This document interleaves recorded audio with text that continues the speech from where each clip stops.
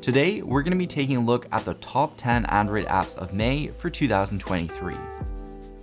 Guys, I am so hyped that we finally crossed that milestone of 50,000 subscribers. It's literally mind blowing. I mean, a lot of the time I wake up in the morning, I just go back in the studio app just to check, refresh, make sure I'm still there. But today we're gonna be taking a look at some pretty sweet apps on my Pixel 6a.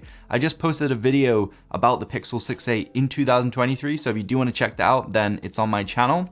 But yeah, let's just start it off with app number one, which is notification widgets.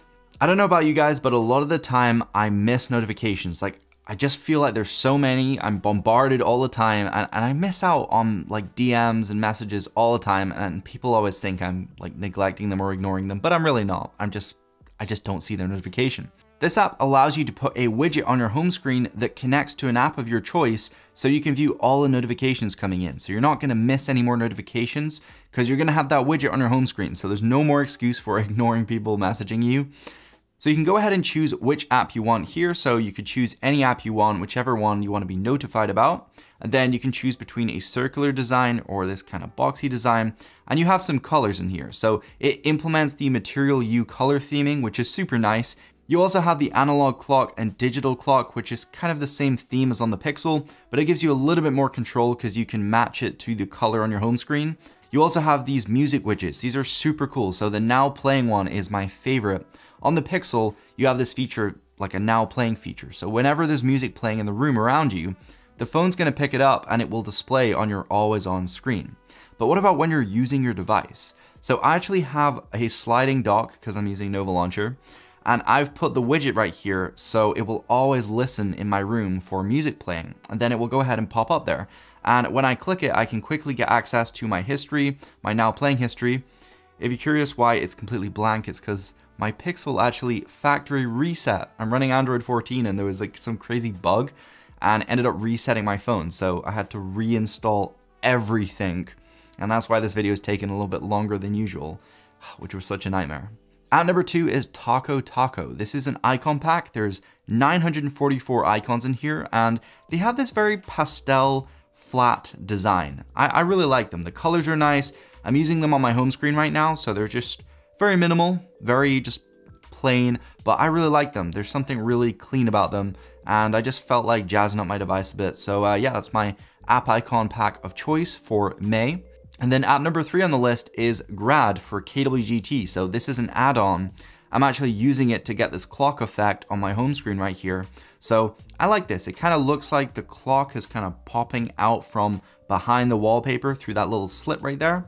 So Grad is an add-on which you can get. You need KWGT Pro in order to actually make use of it, but there's some really cool widgets in here. The majority of them are kind of to do with like your clock, your calendar, stuff like that, even like the weather. Some of them actually look a little bit like iOS inspired, so you have kind of the, a similar shape to the widgets on the iPhone. App number four is called Powerline, and this is a status bar indicator. So You've all seen it before probably with the battery percentage where you kind of have that bar across the top of your phone, but this takes it to the next level. So you can go in here and you can add various indicators which will be displayed using that bar across the top of your phone. So it could be like your battery capacity, whether you've got any battery drain, your RAM usage, it could even be your charging speed, which is pretty cool. But the best bit is there's so many customization options. You can change the positioning, the color, the gradient, the thickness. If you have a notch on your phone or a cutout, you can make it go around that. There is just a lot of customization here, but I just really like the way it looks. I like to see my processor usage, so if I install an app and it suddenly goes up, I know not to use the app because it's gonna kill my battery life. App number five is called Black Hole. I feel like this is gonna be one of the favorites of this video. It's a music streaming app, but it also allows you to listen to your local files mixed in with the ones you're streaming online. So there's this combined section, which is the home feed, and then you have a dedicated section to listen to your YouTube music. You don't need an account whatsoever. It's completely free to listen to YouTube music and there's no ads in here, which is kind of crazy. You also have a Spotify chart section, so you can actually see what songs are popular around the world or in your region. And this home feed section, it allows you to create playlists with local files as well as those on YouTube Music, which is pretty cool. And it allows you to download the files as well. So if you have any YouTube Music playlists, you can download them on here, listen to them ad free. And then you have a lot of customization options, so you can completely customize the way the app looks in terms of the app UI as well as the colors. It's just a great media playback app, so go check it out. App number six is called Permission Pilot. So I feel like app permissions are getting a little bit complicated on Android because they've introduced a lot more features. And so Permission Pilot allows you to just overview all the permissions for all the apps installed on your device. So you can quickly scroll through this list and just see which apps have access to what, which is really nice.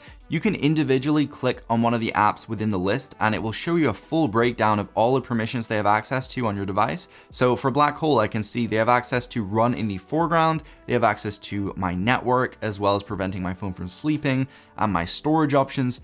And you can use this app to actually opt out and just turn off some of the permissions. So really fast way of just seeing the permissions as well as changing them. App number seven on the list is called Sleepwave. So I'm one of those guys that just doesn't like abrupt, loud, annoying alarm sounds in the morning. And you may be thinking, well, how else would an alarm work? Well, Sleepwave actually tracks your sleeping habit. It works out when you're not in deep sleep by using ultrasonic sound, and then it gradually wakes you up. So if you set the time that you want to wake up between 7 and 7.15, it will gradually play music louder and louder, and it's like a relaxing, nice sound, and it will play it so that you're not in deep sleep. So you're gonna wake up and you're not gonna feel terrible in the morning. There is a pro version so you can fully dive in and see all the metrics and all the data about your sleeping habits, but the free version is good enough, and honestly, it's actually helped me feel a lot better in the morning. App number 8 is called Pika Show, and this allows you to have a custom animation whenever you connect your charging cable to your device. So it's free, there is a free zone, so you can choose from all these different free graphics, or there is pro ones, but personally for me, I really like this car one right here. I've got it set so it only pops up on the lock screen because I might be doing something on my device and when I connect my power bank, I don't want this animation to pop up when I'm actually using my phone. App number nine is voice recorder, and this is one of the very few voice recorders that is pretty comparable to the Google one. I really like the one on the Pixel. It's great at transcribing and I love the interface. And this app does a fairly good job for anyone out there who doesn't have a Pixel. So it allows you to record your audio files in here. Pretty standard stuff. There is some ads.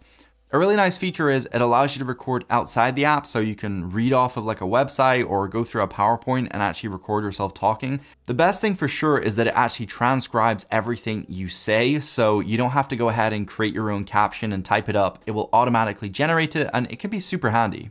And the last app is One4Wall. So this is an interesting wallpaper app. This is an app which has AI generated wallpapers, which really caught my attention because, you know, AI is kind of kicking off, it's picking up. There's a lot of crazy stuff going on right now. And the biggest one is it's kind of taking away some some jobs for graphic designers and artists and you know it can be worrying but at the same time super interesting and so just going through this app it's really fascinating to see like how creative AI can really be. Some of these wallpapers just look great. Like look at this mountain view one. Resolution is super high. You can view the color palette of all the colors inside of the wallpaper and you can go ahead and actually download it onto your device. So you can actually export it to your gallery, which is just, why doesn't every wallpaper app do that? Like obviously for copyright reasons, but it's such a nice feature to have. So yeah, if you're looking for some great wallpapers and you're curious what AI can truly do in terms of like artwork, then yeah, One4Wall is super cool to check out. But if you want to see something that was actually made by a real person, you can check out my wallpaper pack, link will be down below. Boom, so we're now done. Let me know what you guys think down below about some of the app recommendations from me. If you have any apps that you want to show off to people or even apps that you want me to know about, then just let me know down in the comment section. I would be happy to take a look. Who doesn't like checking out new applications? And remember guys, don't forget to hit that subscribe button. It really does help me out, helps support me. And if you really like my content, then you're gonna see it a lot more often if you hit subscribe. I actually have some pretty cool content lined up, like some pretty cool battery packs to show off by SharGeek. I've got a new keyboard, a new mechanical keyboard, which is just, which is sweet. I love the colors. It has these purple keys and it's just buttery smooth to type on. I'm gonna go ahead and review the switches within the video as well. I've got two different switches to choose from, but I just love mechanical keyboards. There's something just super satisfying about them. So yeah, stick around for all that content and I will see you guys soon. Peace.